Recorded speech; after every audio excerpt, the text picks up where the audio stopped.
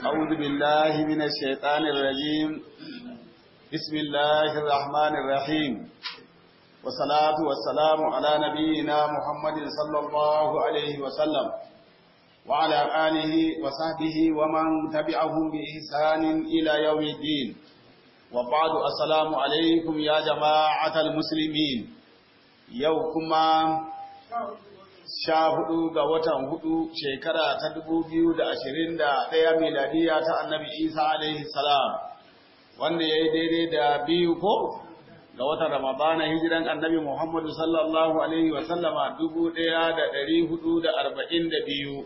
Allah ubangiji ya yi mana jagoranci a nan duniya da lahira. Allah ta alƙur'ani ya cece mu a nan duniya ya cece mu a lahira. Allah ka ruha mana asiri a nan duniya ka ruha mana asiri a lahira. Allah Ubangiji ya zaunar da ƙasar mu lafiya, Allah ka ba mu lafiya da zaman lafiya.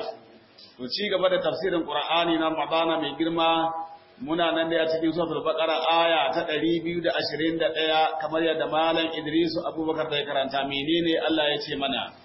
أعوذ بالله من الشيطان الرجيم بسم الله الرحمن الرحيم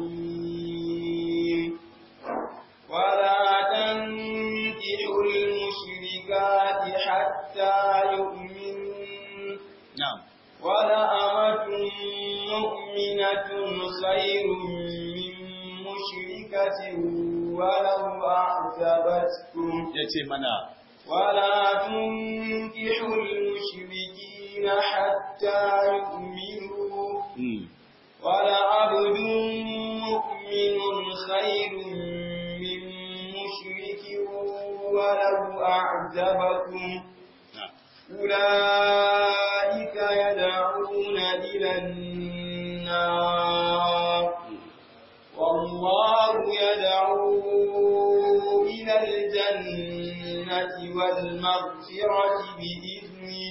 ya ce wa yubayyinu ayatihi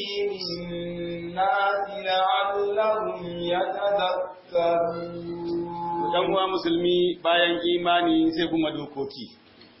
Yace wala tankihul mushrikati ku musulmi mabiyan annabi Muhammadu sallallahu alaihi wasallam mune masu imani kada ku auri al-mushrikati mata mushrikai. Masu bautan gunki ko kuma pagan ko kuma dai ga suna hatta yu'minna har sai sun riƙa yin imani sun yadda da Allah sun yadda da manzon Allah sallallahu alaihi wasallama sun yadda da saƙon manzon Allah shine alqur'ani. Sannan za ku aure su.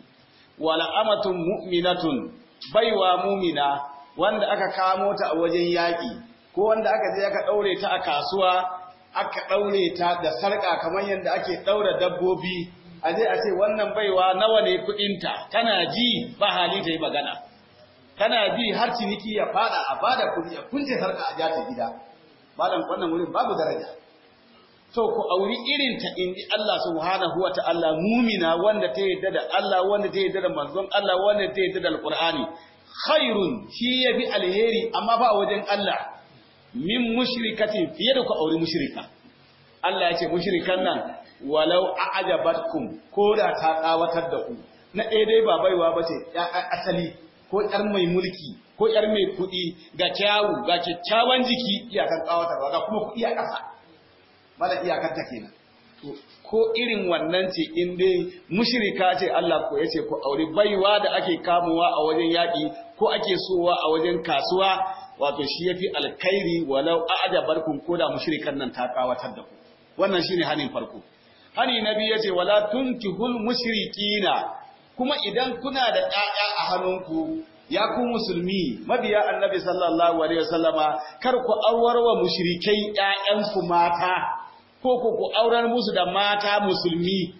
Hatta yu'minu har sai wayannan mushrikai sun yi imani sun yadda da Allah sun yadda da manzon Allah sallallahu alaihi wasallama sun yadda da alqur'ani littafin da Allah ya aiko annabi Muhammad sallallahu alaihi wasallama sannan tukun za ku aurar musu da ƴaƴa inji Allah subhanahu wataala su ma Allah ya ce wala abdun bawa mu'minun mumini wanda ya yarda da Allah ya yarda da manzon Allah sallallahu alaihi wasallama ya yarda da littafin da aka aiko annabi Muhammadu shine alqur'ani.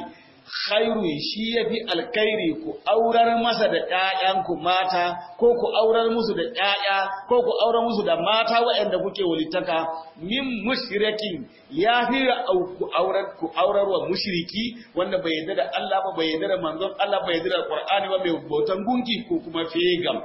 Walau a'jabakum Allah ya ce ba wannan koda ya kawatar da ku na ɗaya dai ɗa ne ɗan asali ko ɗan sarauta. Ga kuɗi ga kyan ƙira ga kyakkyawa ne. Iyakan ƙawatarwa kenan a rayuwar duniya.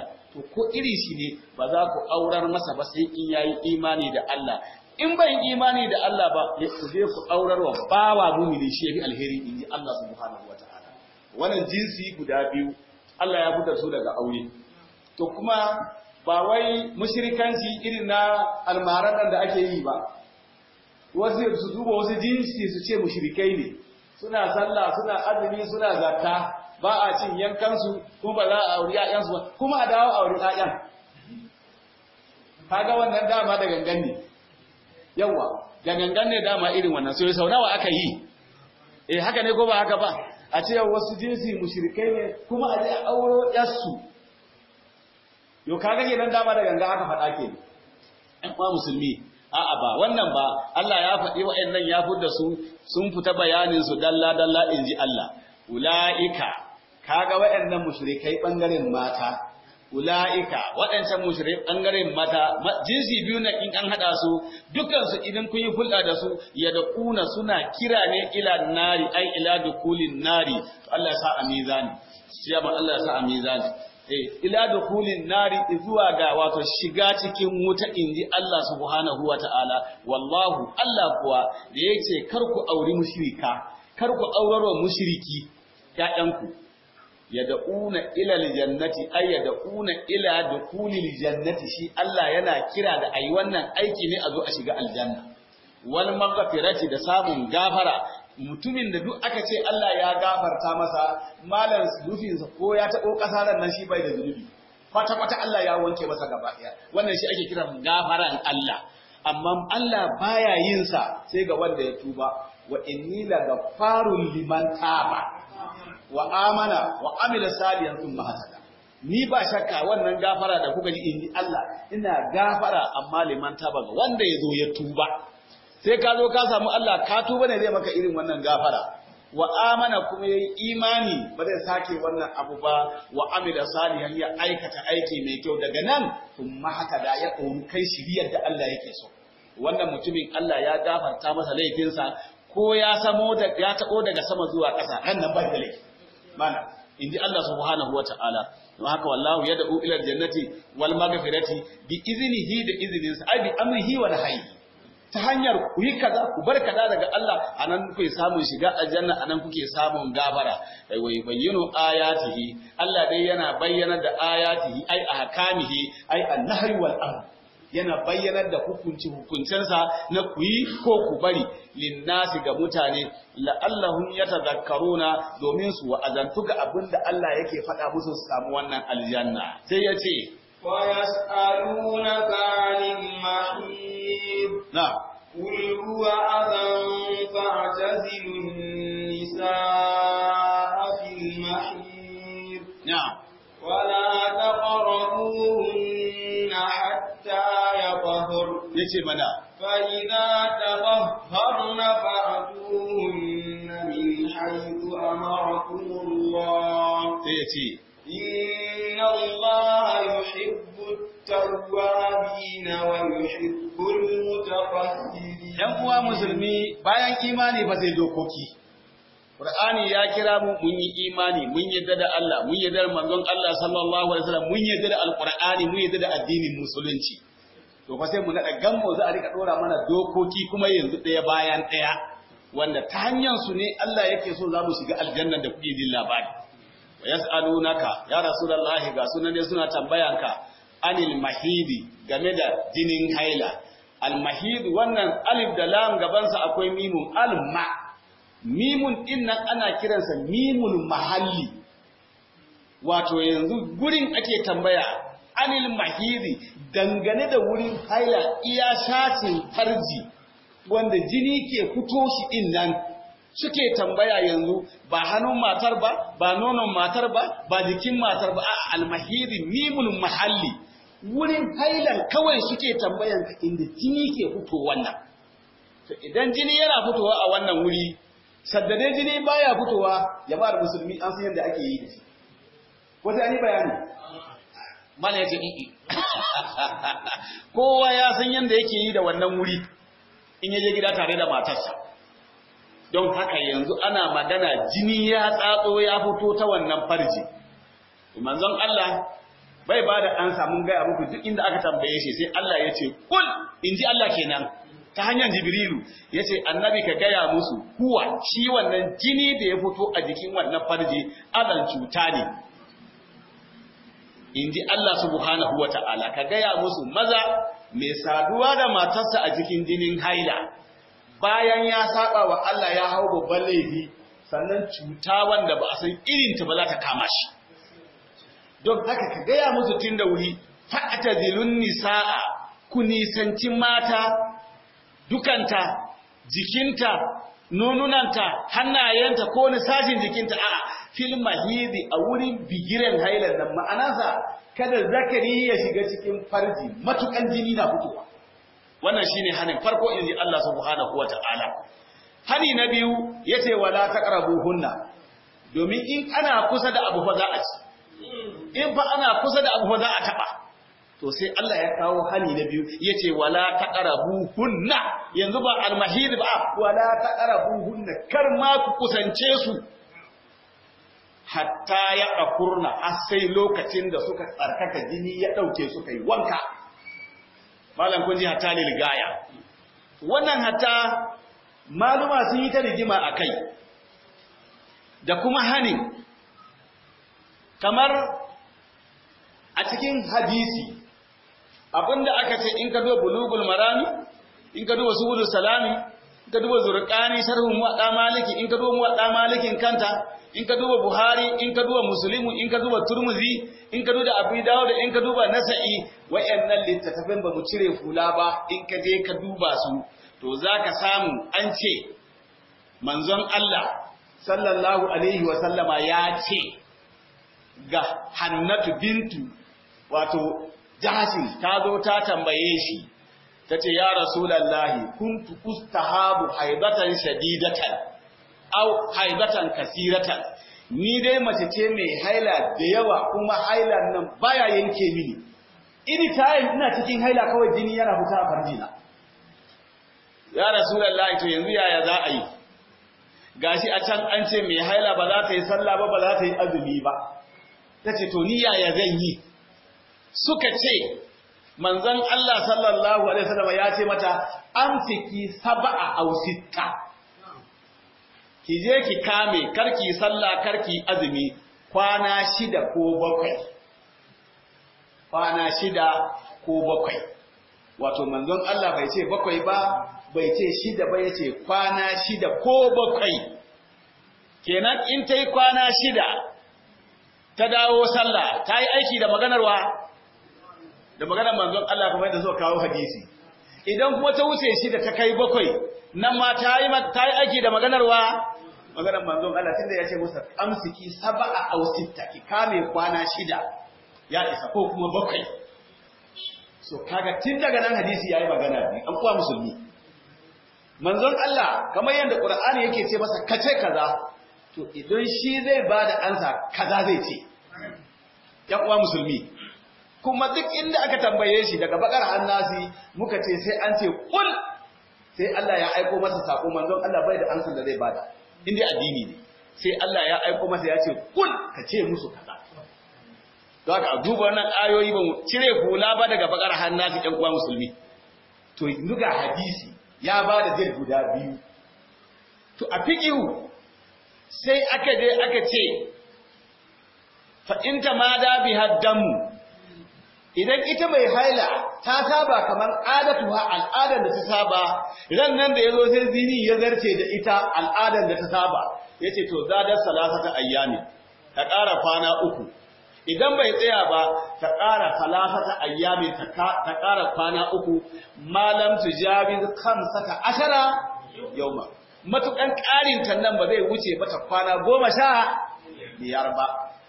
Wannan fiƙihu kuma ya sa'a da wannan hadisi. Hadisi ya ce shida ko bakwai. Fiƙihu ya ce a'a sai in ƙarin bai wuce kwana goma sha biyar ba. Don haka a fiƙihu aka yanka wa haila kwana goma sha biyar. Duk mace tana cikin haila. Amma a hadisi daga shida ko bakwai ta gama. Ɗan uwa musulmi idan ta yi aiki da hadisi kwana shida daga kwana shida ta ce ita ta gama hailanta. To a fiqihu tana nan a cikin haila don sai ya kai sha biyar iyakansa in ma ta ce za ka yi aiki da bakwai ɗin ne a bakwai kwana bakwai ta gama aikin haila ta koma sallah ta koma azumi a fiqihu dai ya ce sai ya kai kwana goma sha biyar take fita a haila. Don haka nan ma akwai saɓani ɗan uwa musulmi. Tsakanin bambancin hadisi ya ce kwana shida ko bakwai fikihu ya ce kwana goma sha biyar. To in an kwatanta akwai saɓani a nan. Fikihu ya ƙara kwanaki hadisi ya rage kwanaki ɗan uwa musulmi. Wannan ɓangare kenan. To sannan sai mu dawo cikin alƙur'ani don duka abin da duk kaji an faɗa ƙur'ani shine tumbin giwa shi ya ƙunshi komi. Ɗan uwa musulmi to alƙur'ani ya ce wa wala taqrabu hunna. A kar su yadda su kusanci wayannan mata hatta ya dahurna har sai ran da suka tsarkaka suka yi wanka.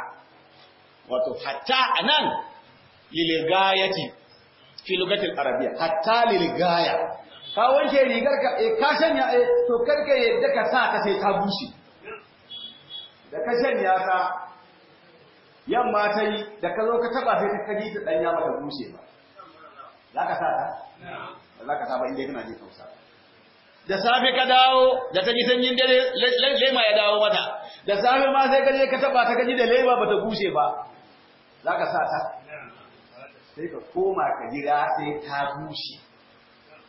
Sai ka ɗauka ka sa. To haka Allah yi wa mata mai hayya. Saboda hailar nan ya taso tun daga matar annabi Adamu alaihi salam. Ita ta fara haila a duniya.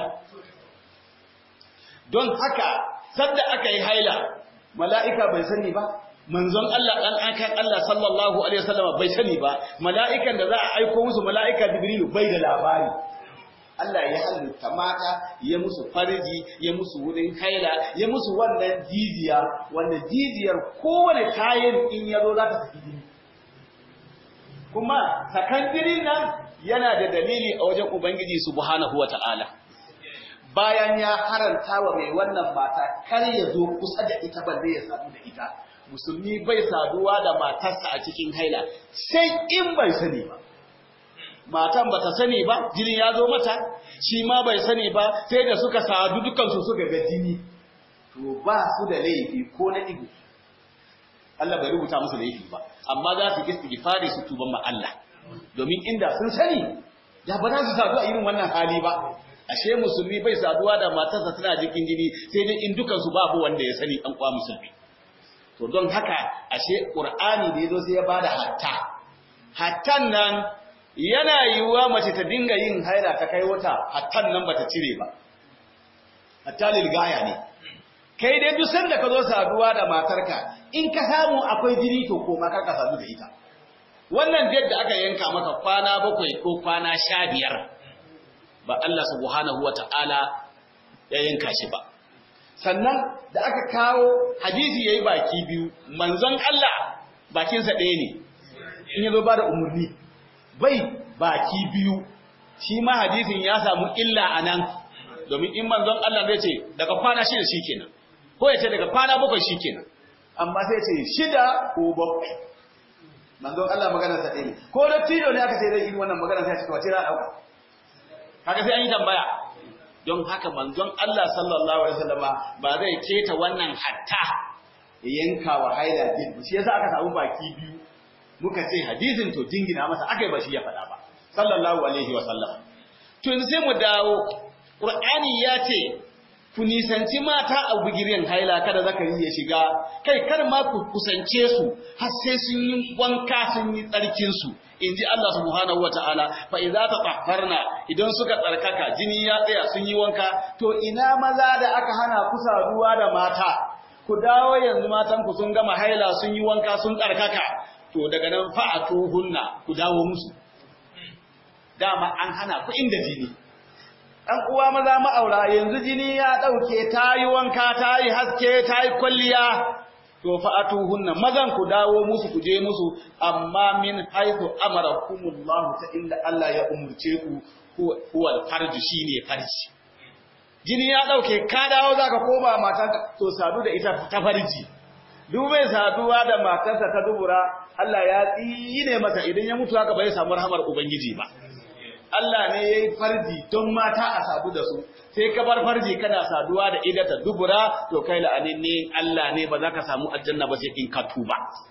Don haka fatu hunna ku wa mata in sun gama wankan su min haifu amarakumullahu ta inda Allah ya umurce ku shine farji.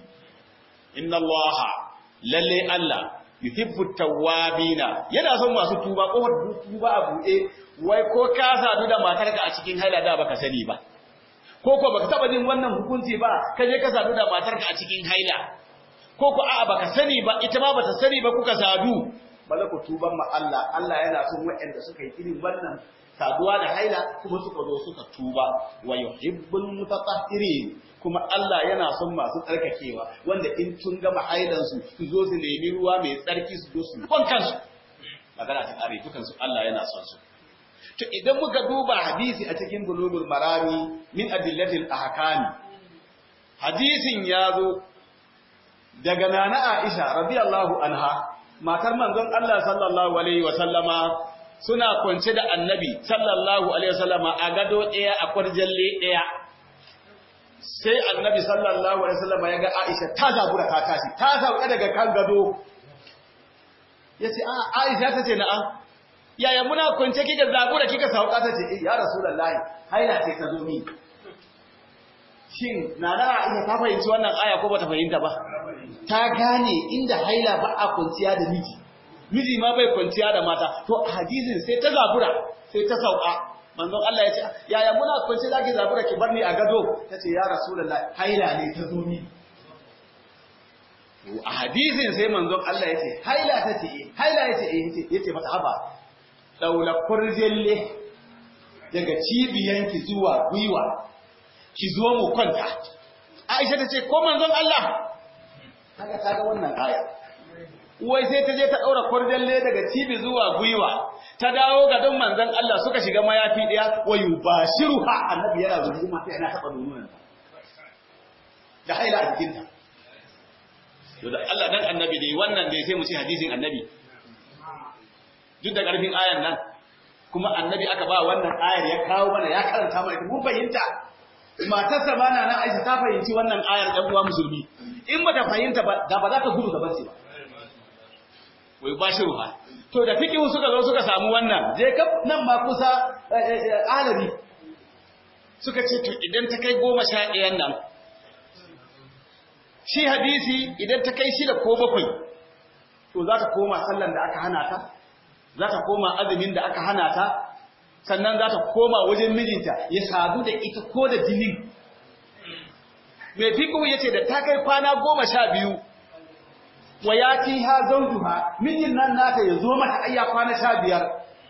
Aka ce wa hadisi da fikihu yaya aka yi ga jini don ta kwana shida ko bakwai a dawo mata? Yaya aka yi ga jini don ta kwana sha biyar a dawo mata? Sai suka ce ai ai damul istihabat. Ai jinin istihala ne. Wai jinin cuta.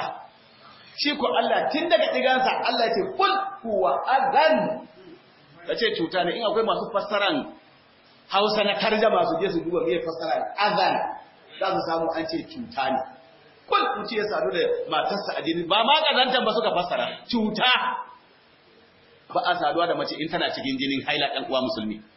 To don haka ashe kenan yaya za a yi don ta kwana sha biyar jinin nan bai daina ba ka ɗauki zagari ka tana da hankali ka saba. Yaya za a yi don ta kwana shida ko bakwai jini bai yanke ba kai da hankali ka ka ɗauki zagari ka sa mata a farjinta. A ce wa jinin cuta.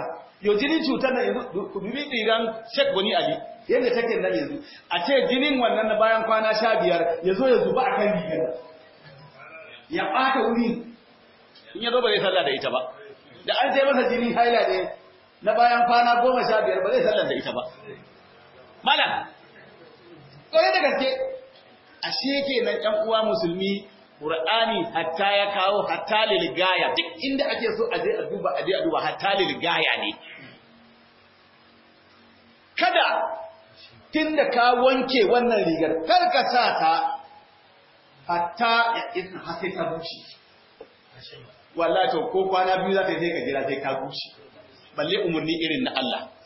Inna Allah. Kar ku dawo musu. Kai kar ma ku kusance su. Musulmin kirki matarsa tana haila idan ɗakin su ɗaya ne yana gado tana ƙasa. In kuma irin mu ne masu girma masu sai mu sauka ƙasa mu ce ke hausa ma ai ba laifi ba alaka mata ba.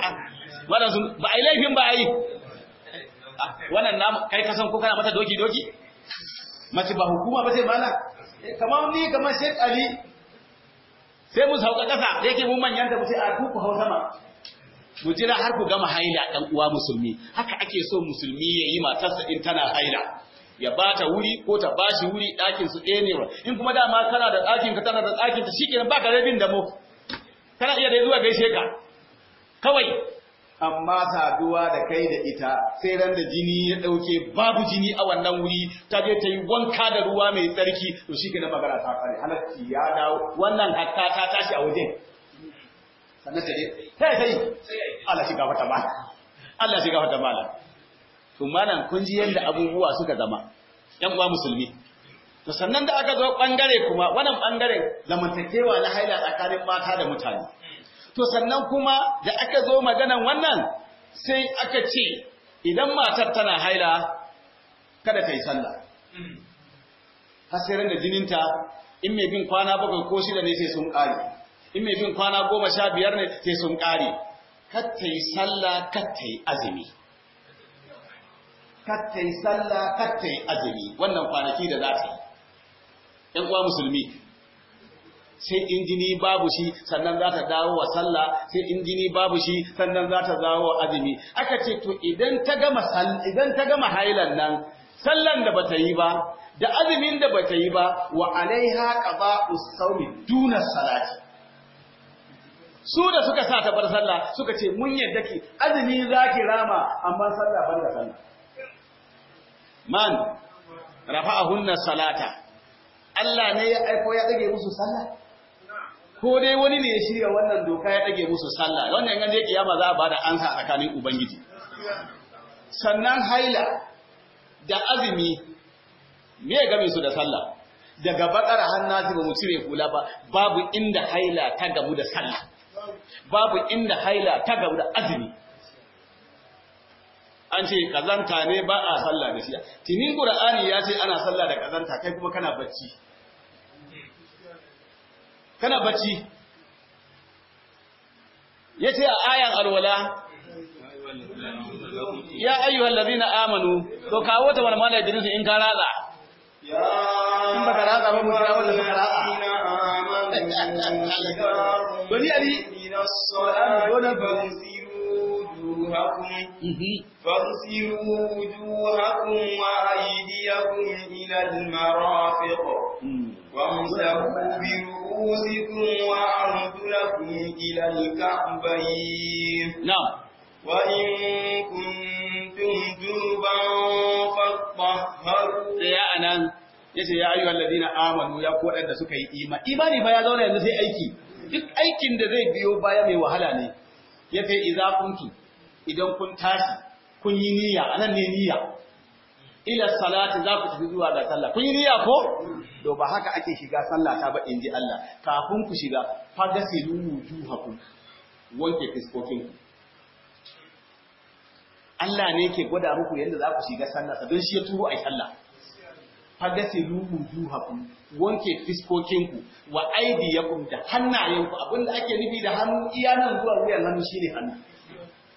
Nan abin da ake nufin sa abu danki nan marafiki nan katafu ka fada haka Allah ya raba hannu sana suddu abu daka bi akika wani da lokwa sultana don haka Allah ya ce wanke hannaye daga hannaye zuwa aide kun ko? Ilal marafiki sai kun kawo nan. Nan shine marafi gwiwan hannu. Haka za ku yi hannun dama haka za ku yi hannun hagu. Wamsahu bi ru'usikum ku shafi kawunanku. Sai ya ce wa arjulakum ila alka'abaini wanke kafafuwa kafafuwa wanke ake ba shafewa ba. Akwai wanda suka kawo kira'a bi ru'usikum wa arjuli. Tabi'un bi ru'usi. Amma mazhaban shi'a su suka fi amfani da shi. Su har yanzu wasu in sun tashi alwala in sun wanke hannaye sun shafi kai to suna shafan kafa ne. Mu kuma namu da zai ce wa arjulakum fagasilu wujuha wa aydiya sai ya tafi ce wa wa arjula. Ma'uhun alal wajhi ma'uhun alal yadi fi wujuha din arjula din. Don haka zaka wanke zaka wanke fiska zaka wanke hannaye zuwa guyoyin hannu zaka wanke kafafuwa ilal da zuwa ga idanun sawu guda biyu. Sai ta gefe nan sai ta gefe nan. In ka laluwa kafanka za ga idon sawu guda biyu ya ce in ka dawo kawo nan sai ka ajiye in ji alwalan Allah. Malan alwala ta kare ta ubangiji subhanahu wataala kuma bai faɗe ta ba sai da ya ce ya ayyuhal ladina amanu. Kun dai imani ko? To ga yadda za ku shiga mai sallah. Yanzu ana neman wanda zai zai tsaya a gabanka ka yi amfani da wannan aya kuma ya tsaya gabanka ya ce baka da alwala. Shi kuma shi kuma daga ina aka aiko shi? Ko kai sallan ya ce ba karɓi sallar ka ba. Allah dai ya gama abin da yake so ya faɗa mana. Dan uwa musulmi kana iya ka kwalkwale kunne kana iya kai shakan hanci kana iya ka kana iya ka sa abu nan duka wannan shikenan sai ka sa sai ka ɗauke shi cikin wanke fiska ka huta. Amma babu shi a nan yan kwa musulmi to a gaban sai ya ce ka karanta? Wa in kuntum junuban sallan da nace za ku min aka ku shiga wannan sallan. Idan kun tabbata kuna da junuban janaba. Jama'a mun dawo wajen saduwa da mata. Mace ake saduwa da ita a samu janaba. Haka ne ko ba haka ba? Allah ta ce in kun kasance junuban kuna da janaba kafin ku yi alwalan fa taharu ku yi wanka tukunna. Tahara a nan ba ka wanke wurin da kawai ba. A'a. Illa abili sabilin hatta tagtasilu ni mazidi tai. Wanka ake nufi. Sai kun yi wanka shine taharu wannan fasara taharu sai kun yi wanka sannan ku zo ku yi alwala. Anan kaga ya saba da mai risala. Mai risala ya ce idan ka zo wankan janaba ka fara yin alwala. Kana da janaba in ka gama alwalan sai kai wankan janaba a kai. Ya ce to amma ka lura idan ka zo wankan in baka taba zakarinka ba. To wannan alwalan da kai a cikin janaba za ka yi sallah da ita. Shi ko Allah ya ce awa in kuntum junuba in kun san kuna da janaba kafin alwala fa tahharu ku wanka ta idan kun yi wankan ku to sai ku yi gama sai ku yi wa Allah alwala. Idan ya take kera alwala? Kaga magana ma ka taba zakari baka taba mata taso ba. Yawa da ba wahala yake to shi kire sai ku yi alwala ku yi wa Allah sallah. Malam alwala ta cika. To sai ya ce gaban.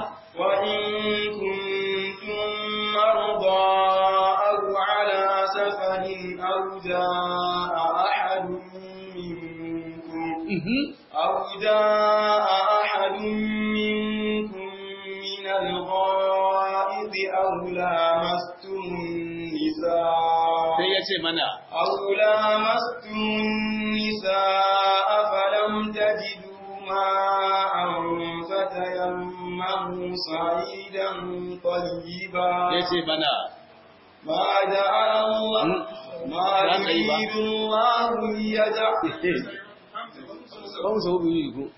يريد الله ليجعل ban so bi ku فامسوا يريدكم وأيديكم منه. وأيديكم منه ma yuridu Allah ما يريد الله ليجعل عليكم من حرج ولكن يريد ليطهركم yace ولكن يريد ليطهركم وليتم نعمته عليكم ولعلكم تشكرون malam kuji abin da Allah ya faɗa ka san irin wannan aya su biyu ne irin su kowace na iya shiga mun kowace in baka kintsa ba.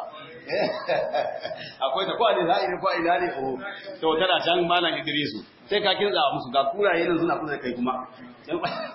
Allah ya gawa ta ba to kun ji Allah ya ce yanzu da kun ji wannan magana. Sai ya ce to in kuntum maraba idan kun kasance marasa lafiya ne ku. Malam kun ji Allah. Inda Allah ya bar mu a wannan hali bai ce komai ba da mun shiga kunci.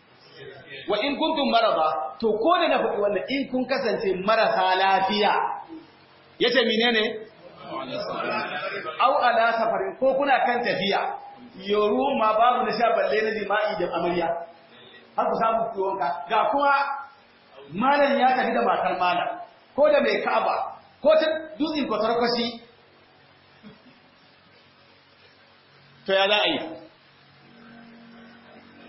Yau ina ruwan shan ma? Kuma Allah bai hana ba in ka samu daji mai kyau ka radi da batarka ka ce ki zo mu je in biya bukatata. Ka bi ka ka biya bukatarka. Ba ku da ruwa. Halal ne Allah ya yarda. In ji Allah subhanahu wa ta'ala. Idan kuma kun sadu da su kun sadu da su maraba amma ba za ku iya wanka ba. Amma maza don ƙoƙari duk da haka ne sun sadu da mata. Amma ba za ka iya amfani da ruwan sanyi ba. Kun san ruwan sanyi ko kana da lafiya? In dai tsakiyar sanyi ne sai ka dumama to ya zama ko baka da lafiya ba ruwan dumi ga ba lafiya kuma ga an sadu da iyali. Malam kun ji cire larura wajen Allah. Allah in ya faɗe mana doka to zai zo ya gaya muku ga larurar da kuma za ta kama ku. Sai shi Allah ne zai warware ta. Yanzu dai an sadu da mata ba a da lafiya ba za a iya wanka da ruwan sanyi ba.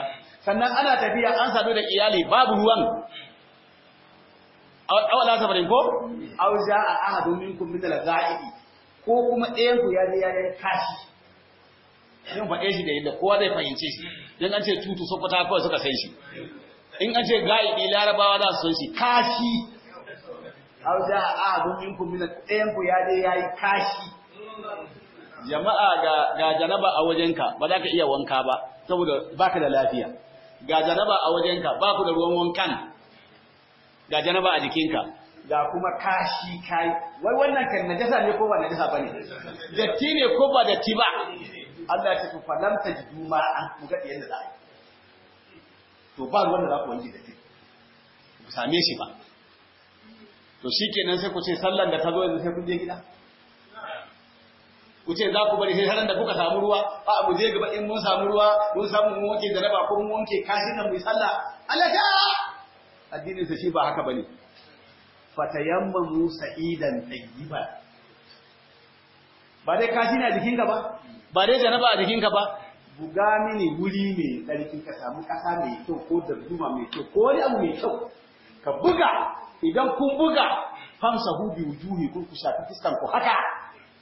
Wa aidikum min shafi hannayenku iya nan.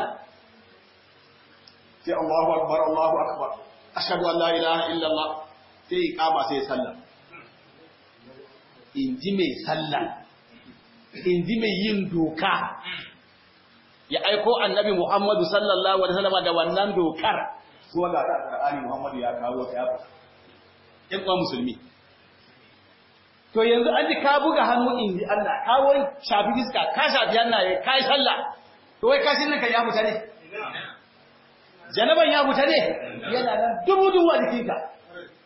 Nan kuma Allah yana so ya gwada maka ƙarfin lokaci in lokaci ya yi ko a wani hali ka yi wa Allah sallah. Saboda idan ya wuce in ka yi wa Allah sallah baya sallah.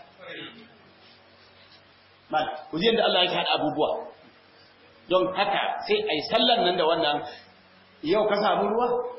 Gobe ne ka samu ruwa? Jibi ne ka samu ruwa? Kai da sallah dai kai da tsarki sai da ka samu ruwa. Kai wanke kashi ka zo ka wanke janaba. Ba kar ka ka irin na kwa da za ka yi kwana biyu baka samu ruwa ba hakan za ka riƙa yi kana sallah. In dai rashin samun ruwa ne. Kuma da tin bai huta ba kashin bai huta ba janaban bai huta ba. Nan da duk ka samu ruwa to sai ka je ka wanke kashi ka zo ka wanke janaba ka karkata irin na kowa. Yan uwa musulmi. Sai ya ce me gaban? Aula muslimun nisa. eh? Aula muslimun nisa. Au- Jiduma. aula mastumun nisa ko? Ko ku kun sadu da mata ba Allah ya sake fito da shi kuma. Maganar ba kana tafiya safarin kun tafi da amarya ba ruwa ya ce aula mastumun nisa kun kai ko kun yi jima'i da matan ku falan ta gido ma an ko? Ba ku samu ruwa ba. Fa ta yammu Musa idan tsayi fa sa wujukum wa aydikum Allah ya ce dalilin da yasa nace muku in kuna da kashi in kuna da janaba ko kuma ga gagaruwan ba ku da lafiya Allah yana tsare rayukan mutane. Yace ma yuridu Allah li yaj'ala alaykum min haraji. Allah bai sun ya takura ku ya kuntata ku a cikin addininsa. Wa ma ja'ala alaykum fi dini. A cikin addinin ku nan ban san ya muku wani kunci da za ku wahala ne in kama ku ba. Idan da ba haka ba sai ce ko ba ruwan ko baka da lafiyan sai kayi wanka. Kuma ko ba ruwan sai kayi wanka. Sannan kuma ga lokaci inna salata kanat alal mu'minina kitaban hukuta ni Allah in dai kai mu'mini ne na sanya maka sallah kitaba fardan dole. Ka ce kai musulmi ne? Sallah ta wajaba ka. Ko mawkuta wanda aka yanka maka lokaci lokaci idan ka kuskura kai sallah ba lokacin ta Allah ba ya don haka sai ya ce idan kana da wannan datti kamin taimama kai sallah akan lokacin ka. Are lokacin kuma sallar tayi kuma in ka samu ruwa ba za ka sake sallar ba ko nawa ne? Wanda kai da dattin mai sallar ya sa ka ita ake so an karɓe ta. Dama don kar ka kuce maka aka baka wannan sauƙi an kwa musulmi sallar tayi ba rama ba. Ma yuridu Allah li yaj'al alaykum min harajin. Dalilin kuma da ya ce idan kun samu ruwa nan gaba ku wanke kashin wanke wannan janaba walakin yuridu li tahirakum yana sai karkace ku daga yanzu ko da ku da janaba ko da ku da kashi in ta hakan. Walitimma ni'matahu alaykum la'allakum tashkurun. Allah ya yi ka don ya cika muku ni'imansa ya zama babu gefe don ku gode wa ni'imarsa. Wannan akwai ni'ima wajen Allah. Wannan shine abin da ya faru. Ashe kenan najasa bata hana sallah ba. Su ma maluma suka ce idan ya kai kwana goma sha shida ko sha bakwai idan ya kai kwana goma sha biyar ga mai fiƙihu to te kunzugu ta yi sallah. Kuma wa ya fi ha zauju ha mijinta ya dawo mata a cikin jini. Kuka ce kun ka kuskura. In dai farji jini na guda kar ka yadda ka sa zakari kana musulmi. Babban laifi ne wanda Allah zai kama mutu ka haƙura sai jini ya ɗauke ƙwaƙwaf. Ta dai ta yi wanka sannan ka zo ka sadu da ita ɗan uwa musulmi. Wannan shine qur'anin mu ya shimfiɗa mana daga hannun manzon Allah sallallahu alaihi wasallam ya kawo kuma ya faɗa mana gashi. Kuma an gadar mana sun ma'aurata nal kitabal ladhi nasafaina min ibadina Allah ce ka riga ka kammala saƙon ka tafi mu karɓi ranka. Mu za mu zaɓi bayin da muke so gadar musu da shi. To ga qur'ani a mu dokokin Allah sun cika. Don haka ashe kenan ƴan uwa musulmi idan mutum ya zo ya hana wani bawa sallah ba Allah ne ya hana shi ba ya shirya ansa tambayoyi. Ku dubi azumi. Muna mara tambaya kan azumi sai mu haɗa shi. Daga ƙasar Cote d'Ivoire akwai malam Sa'idu ya aiko mana yana mana tambaya cewa akwai tsofaffinsa sun riga sun tsufa. Sun kai gargara ba za su iya azumi. Ya ce ke yanzu yaya za a yi kuma yaya ma dai za a yi kurum? Akan wannan tsofi nasa. To sai ka ɗauko mana ya ayyuhal ladina amanu kutiba alaykum siyamu an santana. Wajen sai mu bashi sai mu hada da wannan. Ko nan muka tsaya karatu karatu yayi ya ayyuhal ladina amanu kutiba alaykum siyamu kama kutiba alal ladina min qablikum. Kama kutiba alal ladina min qablikum la'allakum tattaqun ya ayyuhal ladina amanu kutiba alaykumus siyam an wajabta muku ya ku masu imani azumi dole ne akan ku kama kutiba alal ladina min qablikum kamar yadda aka wajabta wa al'ummomi da suka wuce kafin zuwan annabi Muhammad sallallahu alaihi wasallama la'allakum tattaqun ku azumin nan don ku kare kanku daga azabar wuta in kiyama ta tsaya daban ya ce ayyaman ma'dudat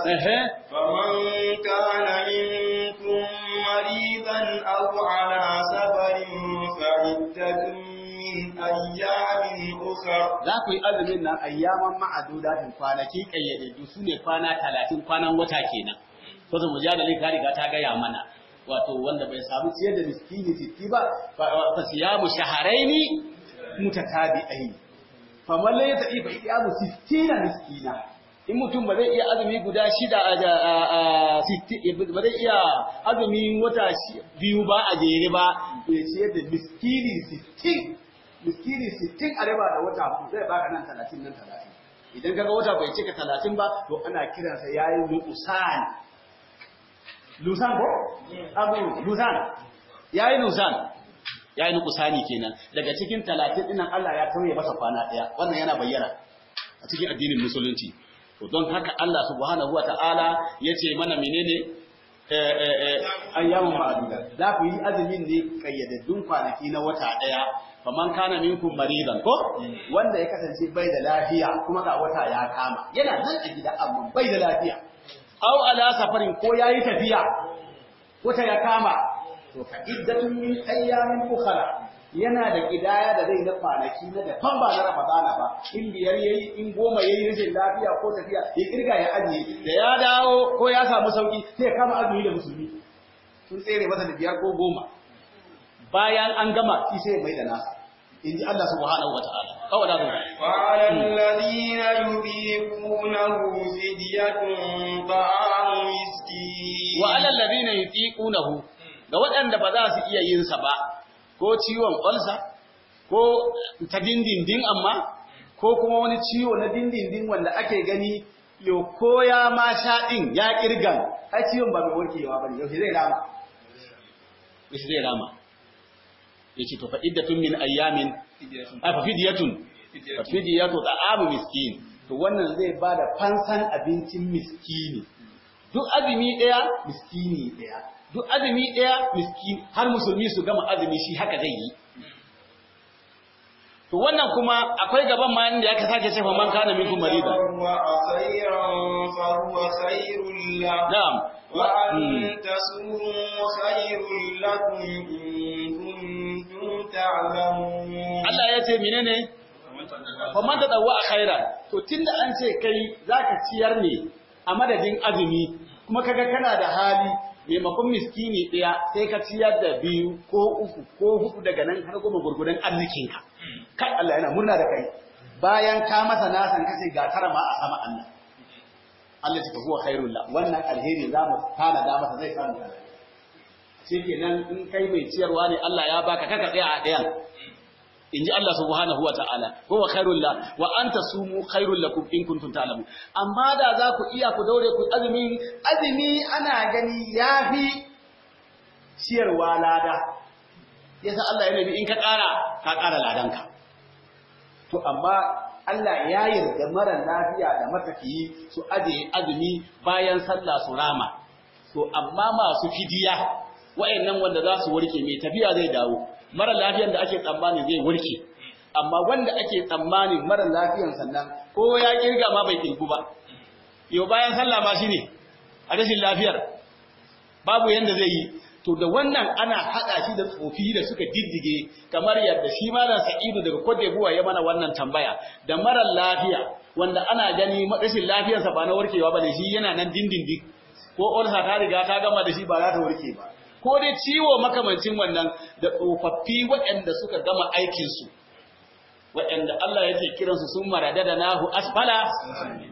Laqad khalaqnal insana fi ahsani. Su wannan tsofin ka je ka duba sanda suke da samari kaga yanda suke gudu suke tsalle. Allah ya ce na yi su a cikin mafi kyawun daidaituwa mala ga ƙarfi.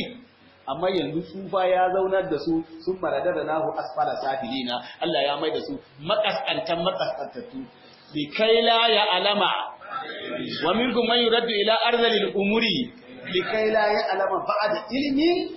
daga cikin akwai wanda muke karɓan sa a cikin uwar sama yau akwai mai magana wani ya kawo gaban doki yana yaro wani yana dukiya sai aka ce an karɓe shi wai akwai mai hanawa daga cikin ku man yuraddu ila arzalil umuri akwai wanda muke mai da shi kaskantattun shekaru ya tsufa idan ya koma nan li kai la ya alama min ba'da ilmi ko ba'da ilmi shay'a ya zama da yanzu bai san komi ba ba da ilimin da bayan ya sani.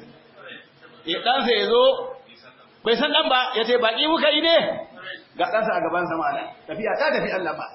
Sun mara zan a sana sadi to irin wayannan wayanda ma ba su inda suke ba Allah ya ɗage musu. Don haka idan suna da dukiya in an yi azumi ɗaya za su ciyar da mudu ɗaya. Ana ce ana ciyar da sa'i rabin sa'i. Wanda ake gani shi rabin sa'in nan zai iya ciyar da mutum da safe da rana da yamma. An ciyar da shi rana ɗaya kenan. Ko ka kaje ka gwada abun da zai ishe shi. Ya karya da safe ya ci abincin rana ya ci lokacin buɗe baki. Kalar ka sallame shi sai gobe wani kuma. Na? Kamar yanzu da azumi? A to sai a ba da abinci. An yanzu aka ce a ba da sa'i din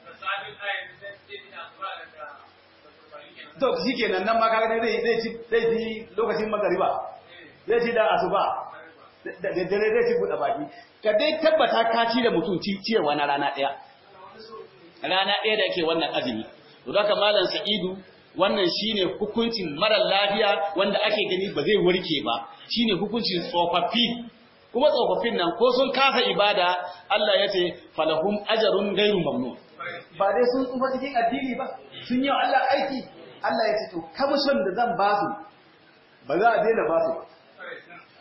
Idan ba zai bai san ma gabar ba bai san yadda zai sallan ba. Wani ma in kazo ba ba lokacin sallah ya ce eh abinci ne. Shi bai san ma abin da ka kawo masa magana ce ba san lokacin sallah ya yi ba. Sai wani ya zaka da shi. Alwala ne ga dadansa ka masa alwalan ma bai san abin da ka masa. Sai ya ce yaya na ji kuna jika ni. Dole ya zaka yi da shi. Kuma kai ka ce ka masa alwala ne wai babanka ne kana so yaya zaka ke jika ni? To irin wayannan Allah ya ce na musu alƙawari in dai sun sun yi aiki lokacin ƙarfin su lokacin lafiyan su sun mini aiki. Allah ya ce fa lahum ajrun ghairu mamnun ladan da na saba ba su ba zan yanke har kiyama ta ba za daina ba su ba ƴan uwa musulmi. Malam kun ji aikin Allah. Yo kai ma ka iya ka ɗauki mutum aikin gwamnati ka ce shekaran sa yanzu ya kai 60 ko 60 da wani ka masa ritaya. Ai in ka masa ritayan ba haka kake bari sa sai ka ce zai karɓi menene fansho. Bayan fansho ma kafin fanshon? Akwai garatuti. Malam a baka garatuti kuma a ce to daga nan har ka mutu. Ka zo ka riƙa karɓan fansho. Malam haka ne ko ba haka ba? To Allah ne bai iya wannan ba. Ai ya ce maka wallahu khalaqakum wa ma ta'malun. Ni na yi wallahi tsarin da kuke kai Allah ce ni na tsara don haka Allah zai bashi fansho zai bashi garatuti har kiyama ta tsaya. To don haka tsofaffi wanda ba za su iya yin azumi ba to haka ake musu. Eh a kiyasta azumi malamai sun ce rabin sa'i. Kun san sa'i ko? Me sa'i? Me sa'i? Wanda ake hudda mudun nabi to mudun nabi akwai babba akwai kanana wanda sai an auna guda nawa suke isa? Guda huɗu guda huɗu su ne ɗayan wancan. An gane? To babban ake faɗa. Guda biyu kanana in cika su ana ga kila in an gyara. Yo ko dai shinkafa ce ai zai ce sai sai a gyara ta. Yawwa kuma in Allah ya baka kaji mai ciyarwa Allah ya yarda ba ya ciyar da wanda aka dora masa ya dora ko nawa ne akai to sai kai amfani da wannan in ka ma shinkafa zaka bashi ko alkama misali. To ka samu kuɗin da zaka bashi ya gyara. Ai kai kari sai ka ƙara ka ya gyara abin yanda zai ciwu. To wannan hanyar ita ake ciyar da miskini ga wanda ba zai iya yin azumi ba. Malam sa'idu Allah bangiji ya mana mawafaka to don haka ashe kenan azumi azumi bai hana sallah. Azumi bai hana azumi haila ba ta hana sallah. Haila ba ta hana zakka. Allah ya ce ba ta hanawa. Don duk wanda ya hana ka sallah kwana goma sha biyar ba ka sallah. Kuma ya ce karama azumi kawai ya ɗauke maka sallah. Kai ɗauke sallah. Ku dubi azumi. Wallahi da aka zo dakatar da matafiyi an ce an yadda matafiyi ya sha ruwa a azumi. Marar lafiya ya sha ruwa a azumi. Wallahi da Allah ya kawo aya.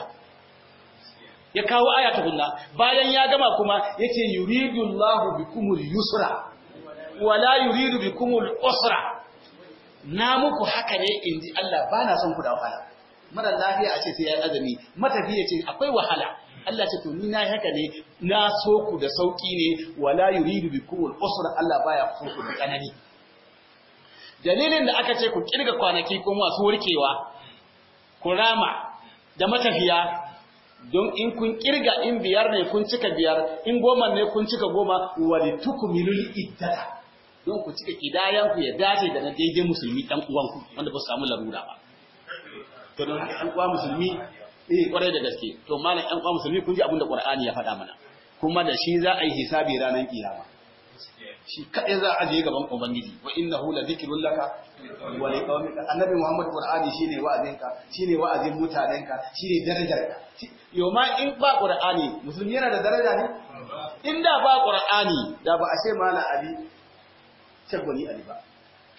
Ya saboda Allah fara mata inda ba qur'ani da ba a ce wa manzon Allah manzon Allah ba.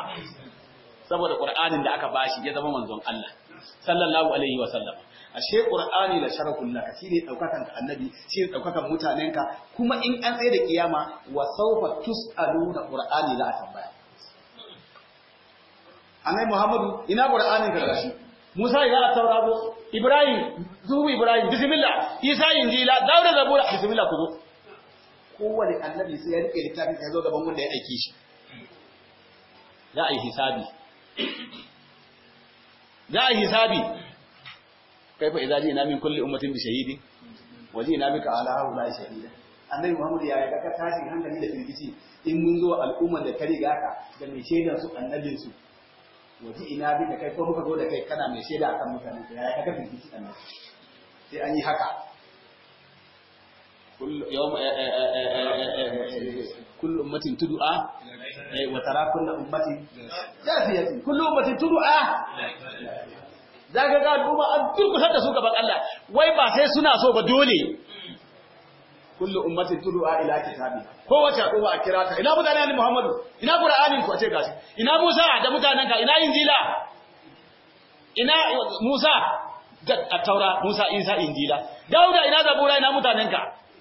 Annabi Ibrahim ina Sufi Ibrahim? Haka za a zo a aje su gaban Allah ayi hukunci dan uwa musulmi. Wannan littattafai da Allah ya aiko da su za a yi hukunci ranar kiyama. Allah bani ya ba mu ikon aikin jinsi na eh? To lokaci fa yayi akwai masu tafiya. Eh.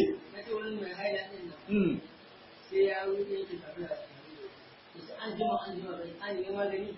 sai an nemi magani. Ba kana son abun ba?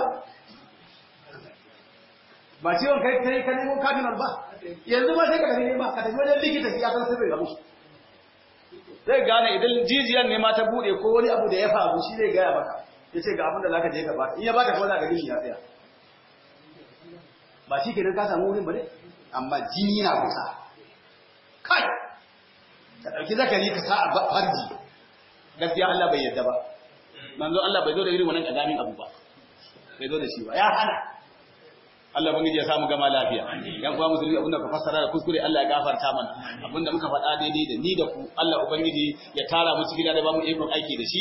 Allah ya gafarta mana ya gafarta wa iyayenmu ya gafarta dukkan sauran yan musulmi. Allah ka zama da mu lafiya ka zama ka samu lafiya. Allah ka kare mu Allah ubangiji ka samu gama lafiya. Allah ka cire mana firgizi ka mana alwala da wata amana.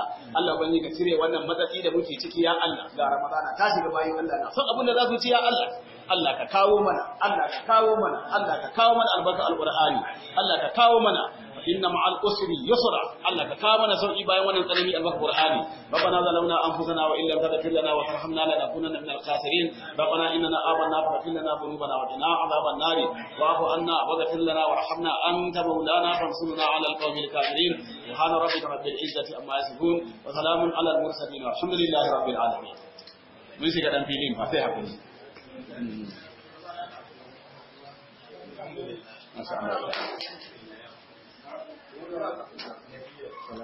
Alima Mudu, kan ta ta Allah kare.